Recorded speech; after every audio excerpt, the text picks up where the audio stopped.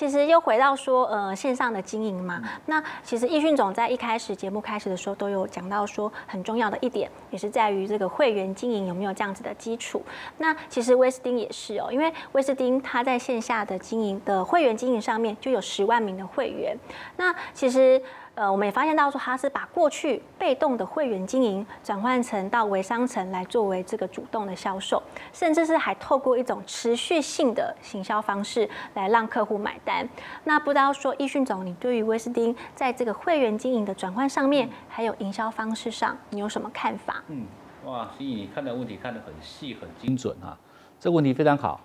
第一个状态是威斯汀为什么可以有这个成果？第一件事情是他过往会员经营的量足够，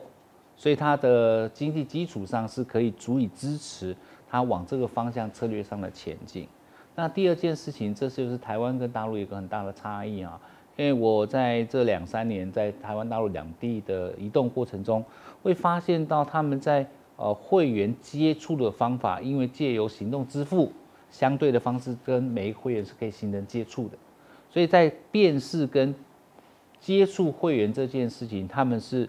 没有做任何准备就做到了啊！他微信部分支付部分就会有一个相对的支付码，他知道谁来买过。那相对过程中，只要跟客户一个很容易的加入会员的方式，基本上他就形成了会员跟消费的关系。那包括我可以传递相关资料给你，只是过往在这样的动作是会有一个不连续的行为，不连续的行为的结构是说。我们在促销的过程中，常常是促销的东西寄给客户，客户不看，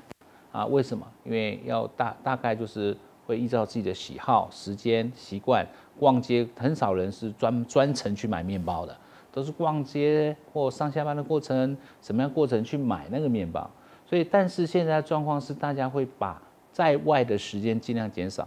啊，可能暴露的风险的状况会降低。所以以此如此，在消费的过程中，我们看很多的很多的消费的场所啊，比如说现在大卖场的生意反而没有便利商店好，为什么？因为便利商店快，不是因为快，是在里面环境的时间可以短。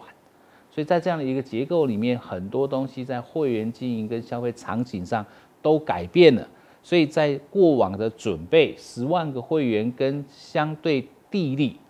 微信的这件事情。在支付的这件事情，他们很容易达成往后转换成线上的动作。